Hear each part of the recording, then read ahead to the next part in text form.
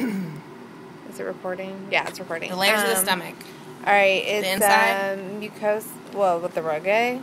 Well, yeah, but then Oh, it's mucosa, serosa, submucosa, muscularis, and then serosa. so where's the point to them on here? So I think it's, I think it's. Um, well, I was I was gonna point. Um, uh, mucosa, like mucosa on the inside, and then submu submucosa. But then this red is muscularis, and then it's serosa. Okay. All right.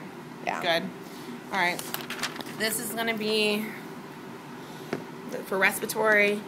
Again, you have your thyroid, your cricoid, your trachea, which this is the um, carina, which is the divider. And then you have the primary, left and um, right and left um, bronchis. You have the secondary bronchis, which are right here. On the right side, you're going to have three different sections, and also it's going to be straighter.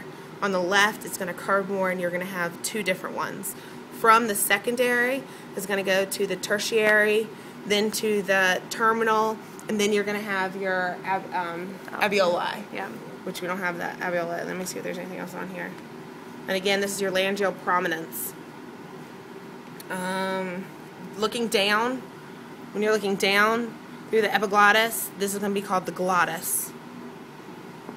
Um, okay, pause it second.